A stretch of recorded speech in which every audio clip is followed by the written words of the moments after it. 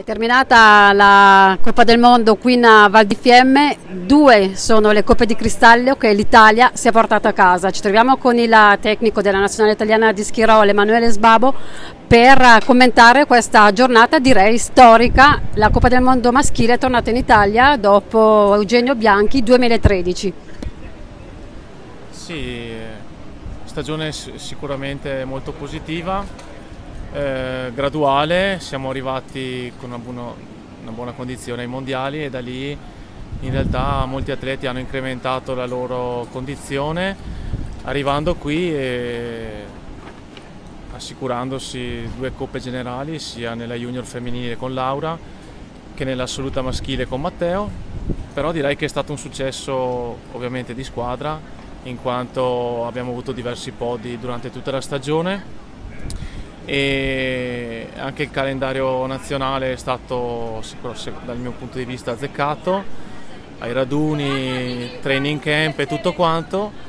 e niente, sono dei risultati che coronano sicuramente un ottimo lavoro di squadra della, fede, della federazione che, hanno, che ci, hanno, ci ha dato la fiducia e gli atleti hanno ricambiato con tantissimi risultati strepitosi. Davvero mm, di livello anche la crescita del settore giovanile, insomma i big trainano ma i giovani di certo non si fanno trascinare a vuoto. Sì, Laura è ancora molto giovane rispetto alle sue avversarie e devo dire che ho la fortuna di seguirla nella programmazione come Matteo Tanel, Francesco Becchis, Luca Curti che qui ha dimostrato il suo enorme potenziale nelle gare in tecnica classica.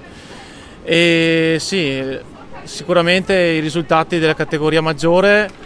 premia e sono, di stimoli, sono di stim da stimolo per i giovani e questo è importantissimo e speriamo in un futuro che più atleti giovani si avvicinino a questo sport estivo perché come è successo con Andrea Gartner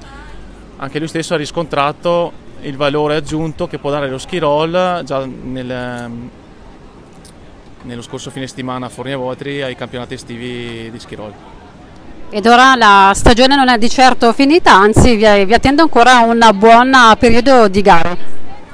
Sì, ci sono ancora molte gare prima della fine della stagione, però diciamo che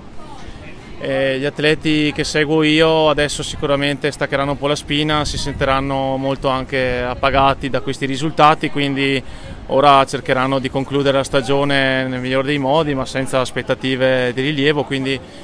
essenzialmente adesso si godranno i, i,